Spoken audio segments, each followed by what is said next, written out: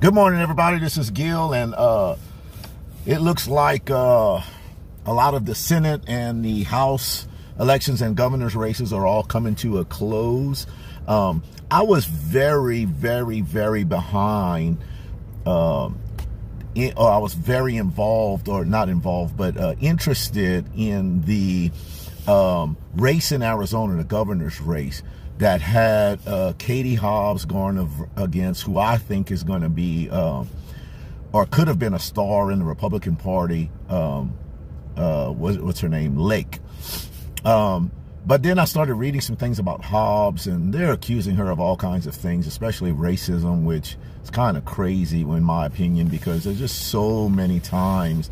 How many times can you just always throw the racism card?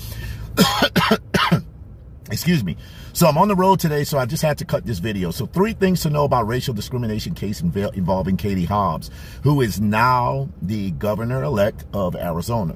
So opponents of Democratic candidate for governor claim courtroom victory by fired African-American advisor has cost taxpayers millions. It hasn't. I got this from uh, a website. The author is Brahm Resnik, so I want to make sure that I uh, give him a shout out. Katie Hobbs came under attack during the Democratic primary for governor over the firing of an African American policy advisor back in 2015. The attacks have only intensified on social media, in particular during the general election campaign. But Hobbs' opponent opponents are now making false claims about convictions, criminal charges, and millions of dollars in payments by taxpayers. That's just something that happens on both fronts, whether it be Republican or Democrat. They just make tons of false claims. They talk about a lot of crazy things that just doesn't make sense. So here's a uh, background on the case. In early 2015, Katie Hobbs was a Democratic minority leader of the state Senate. She would be elected Secretary of State in 2018. Look, Talonya Adams a lawyer, was a policy advisor on the Democratic staff, and the only African American policy advisor at the Capitol. In February 2015, Adams was fired in part for protesting that she was paid less than her white colleagues. Was Hobbs convicted of a crime?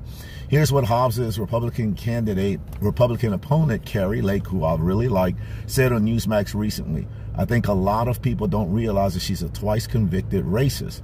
Hobbs wasn't convicted of anything. No criminal charges were filed. Adams, acting as her own lawyer in federal court, would file and win two civil lawsuits alleging sex and racial discrimination. The lawsuits were filed against the Arizona State Senate.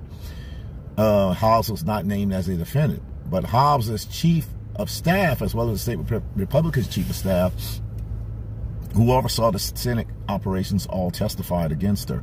During the second trial, Hobbs testified she had lost trust in Adams in part because of Adams's emergency leave of care for her son out of state. Um, many of the attacks on Hobbs' claim on Hobbs claims that taxpayers have paid out millions of dollars as a result of a court judgment, which they haven't. The second jury awarded her 2.75 million in damages last year after finding Adams was a victim of racial and sexual discrimination, but they have not paid out. You see, that's the language that they want you to see. The attacks on Hobbs claim taxpayers have paid out millions of dollars as a result of a court judgment. That is the semantics that they play with us. All semantics have paid out millions. No, they have not paid out millions. They will eventually have to pay out millions, but she has not been paid out millions. So her she was awarded 2.75 million in damages last year, but under federal law, the damages award was capped at 300,000.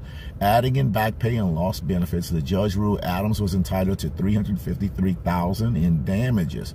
Almost a year after Adams was awarded damages and she got her job back, she has not received a dime.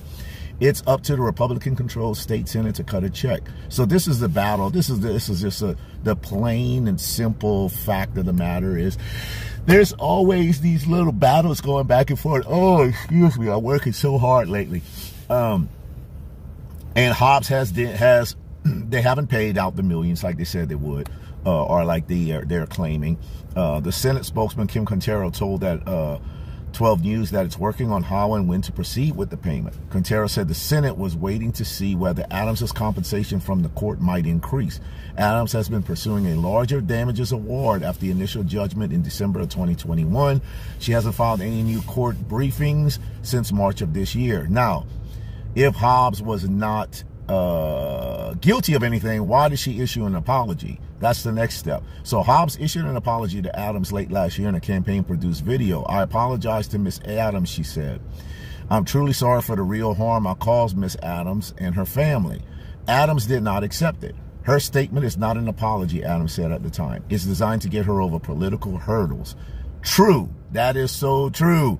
So, my favorite girl, Miss Kari Lake lost. My favorite woman, politician, Kari Lake lost. Katie Hobbs is now in. That is a little update of what's going on when I heard about the racism charges that were being thrown.